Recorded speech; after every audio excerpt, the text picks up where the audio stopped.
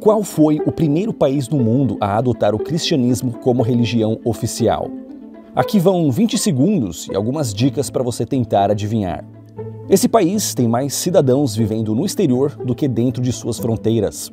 De fato, milhares deles migraram para o Brasil há 100 anos para escapar de um genocídio que até hoje é negado por muitos países.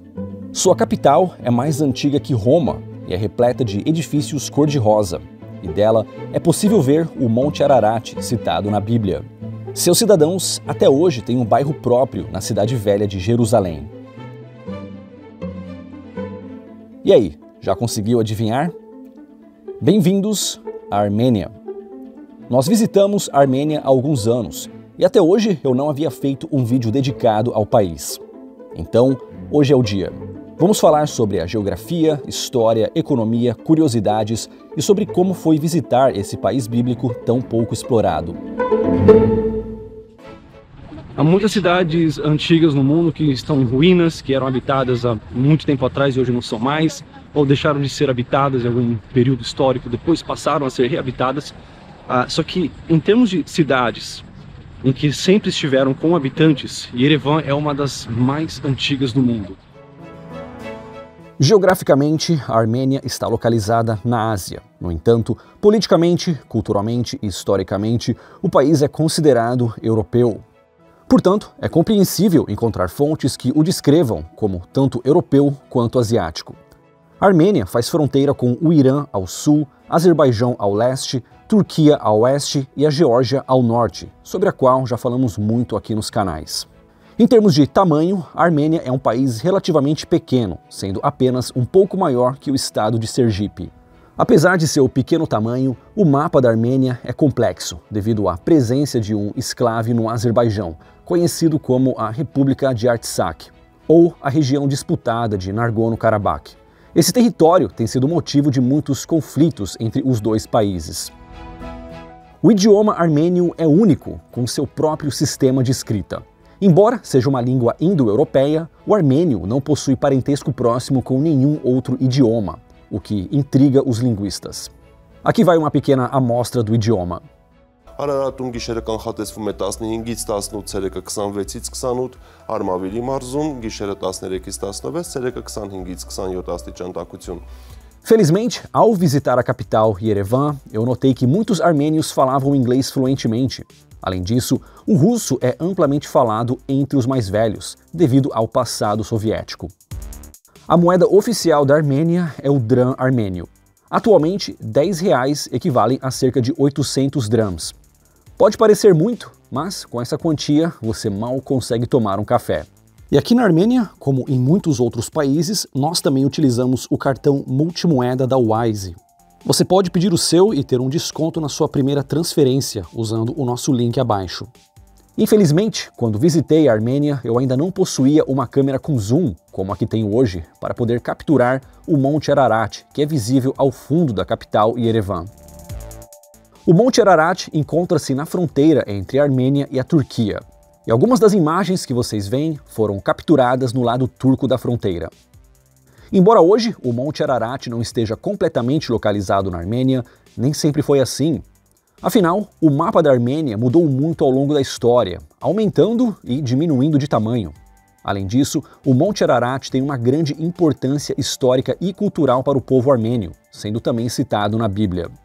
Muitos cristãos acreditam que foi no Monte Ararat que a Arca de Noé se perdeu após o dilúvio descrito na Bíblia. O povo armênio tem uma história de migração por diversos motivos. De fato, atualmente há mais armênios vivendo no exterior do que dentro da própria Armênia, com muitas comunidades históricas espalhadas pelo mundo. Um lugar em que os armênios habitam há séculos é a cidade velha de Jerusalém. Bem, agora estamos aqui em Jerusalém. E aí você se pergunta, mas o que, que Jerusalém tem a ver com Armênia? Bem, a cidade velha de Jerusalém é dividida em quatro bairros: o cristão, muçulmano, judeu e o bairro armênio, que é onde nós estamos agora, com muitos gatinhos aqui, né, nos acompanhando aqui no vídeo. É, mas o que, que Armênia tem a ver com Jerusalém? Por que, que é um bairro armênio na cidade velha de Jerusalém? para entender essa questão, nós vamos ter que voltar um pouquinho no tempo. Os primeiros registros históricos da Armênia datam do segundo milênio antes de Cristo, fazendo dela uma das nações mais antigas do mundo. De fato, sua capital, Yerevan, é mais antiga que Roma. O que hoje é Armênia já foi dominado pelos romanos e persas e altamente influenciada pelos gregos. Não é à toa que até hoje Armênia e Grécia são nações amigas. No século I a.C., o reino da Armênia se tornou uma importante entidade política e cultural, atingindo seu auge sob o reinado do rei Tigranes o Grande. No ano 301, o cristianismo foi adotado como religião oficial do Reino da Armênia, tornando-se a primeira nação a adotar o cristianismo como religião estatal, antes mesmo do próprio Império Romano. Isso teve um impacto significativo na cultura e na identidade da Armênia. E o cristianismo ortodoxo armênio continua sendo uma parte central da vida do povo até hoje. Já no século IV, muitos armênios visitavam Jerusalém e alguns monges e peregrinos se assentaram por lá, dando início a mais uma velha comunidade da diáspora armênia. Ao longo dos séculos, a comunidade armênia preservou suas tradições, cultura e arquitetura, tornando-o um local de grande importância histórica. Quem assistiu nossos vídeos em Jerusalém, lá no outro canal, deve ter visto nossa caminhada pelo bairro armênio, passando pela Torre de Davi e pela Catedral de São Tiago. No bairro armênio é também onde fica a Biblioteca de Jerusalém, que abriga uma vasta coleção de manuscritos e livros raros em armênio, além de uma rica coleção de documentos históricos. Em resumo, os armênios não apenas se assentaram em Jerusalém, eles também cuidaram da cidade e contribuíram com sua riqueza cultural e histórica. Ao longo dos séculos, a Armênia foi dominada pelos árabes, mongóis, bizantinos e, claro, pelos turcos otomanos. Essa ocupação otomana foi marcada por períodos de opressão e perseguição contra os armênios. No início do século XX, o Império Otomano cometeu o genocídio armênio, resultando na morte de mais de um milhão de armênios. E esse é um assunto bem delicado em algumas partes do mundo. Até hoje, a Turquia nega tal genocídio, junto com o Azerbaijão e o Paquistão, que é o único país que nem reconhece a existência da Armênia. Muitos países demoraram para reconhecer oficialmente o genocídio armênio, sendo o Uruguai o primeiro país no mundo a reconhecê-lo em 1965, décadas depois dos acontecimentos. O Brasil só reconheceu oficialmente o genocídio armênio em 2015, antes tarde do que nunca, já que os Estados Unidos e Portugal só o reconheceram oficialmente em 2019. E no caso dos Estados Unidos, tal reconhecimento veio do Senado, já que o então presidente, Donald Trump, resistiu em reconhecer oficialmente o genocídio armênio. Isso nos mostra que, mesmo hoje, 100 anos depois, o massacre de um milhão e meio de pessoas ainda não é reconhecido por muitos países. Hoje, o bairro armênio de Jerusalém abriga muitos descendentes dos sobreviventes desse genocídio. Após a Primeira Guerra Mundial, a Armênia conquistou sua independência em 1918, estabelecendo a Primeira República da Armênia. No entanto, a independência foi efêmera e a Armênia foi incorporada à União Soviética em 1922, como uma república soviética. Com o colapso da União Soviética em 1991, a Armênia declarou sua independência e estabeleceu a República da Armênia como um Estado soberano.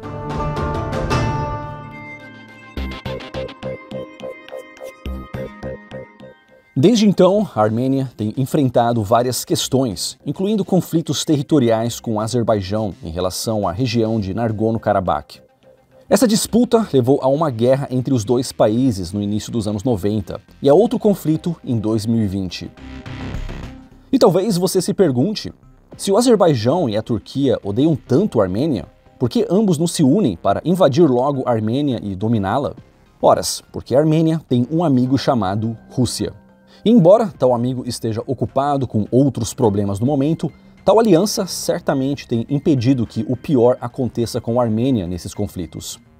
Bem, eu falei mais sobre esse conflito nesse vídeo aqui sobre o Azerbaijão, o país que pode livrar a Europa da dependência do gás russo.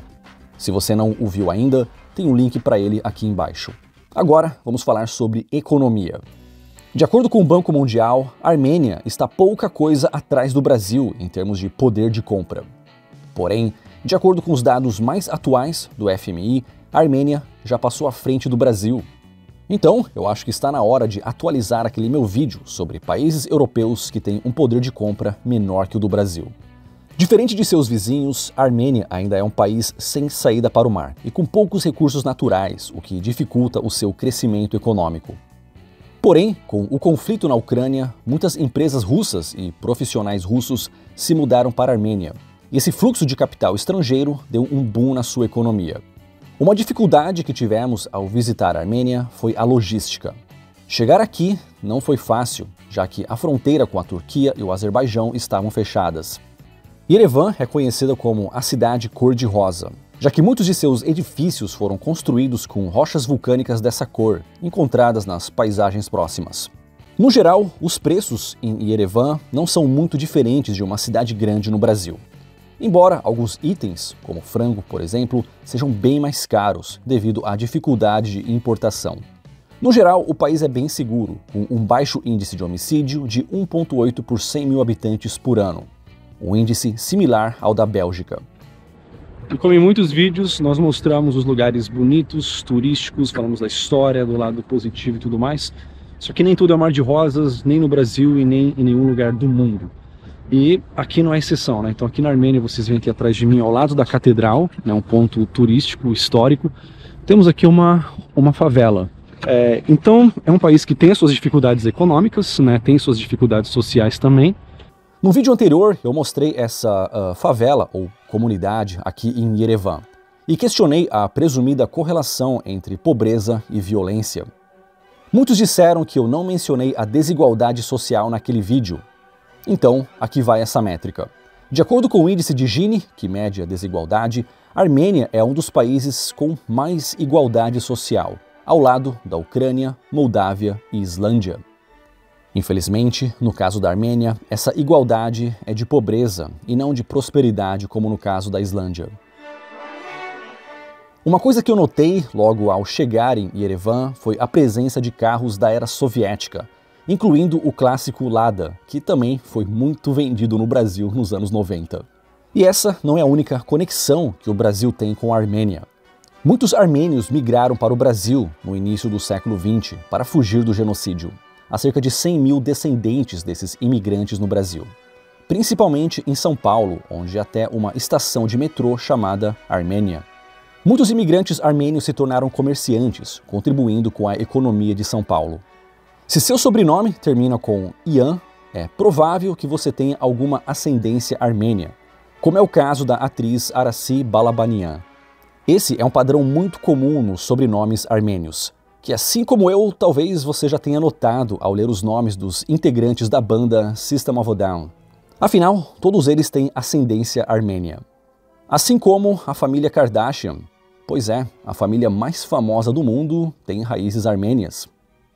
De fato, quando ainda eram casados, a Kim Kardashian e o Kanye West até batizaram sua filha na Catedral de São Tiago, no bairro armênio de Jerusalém. E já que estamos falando de curiosidades, aqui vai mais uma xadrez. Na Armênia, xadrez é uma matéria obrigatória nas escolas. Não é à toa que, historicamente, os armênios se destacaram tanto nesse jogo. A Armênia é um país pequeno em tamanho, mas riquíssimo em história, com um povo que, através de sua diáspora, deixou suas contribuições em diferentes partes do mundo, incluindo no Brasil. Apesar das dificuldades logísticas, certamente valeu a pena conhecer a Armênia. Eu nunca imaginei que um dia eu conseguiria falar sobre a Arca de Noé, Lada Laika e a família Kardashian no mesmo vídeo. É através de conteúdo assim que eu tento conquistar o seu like e inscrição, ao invés de simplesmente implorar por tais gestos. E aqui estão dois vídeos relacionados. A cidade bíblica mais velha do mundo, feito com o canal Israel com Aline ou esse outro vídeo aqui sobre o país de língua portuguesa que quase existiu na América do Norte. É só clicar e assistir e nos vemos no próximo vídeo.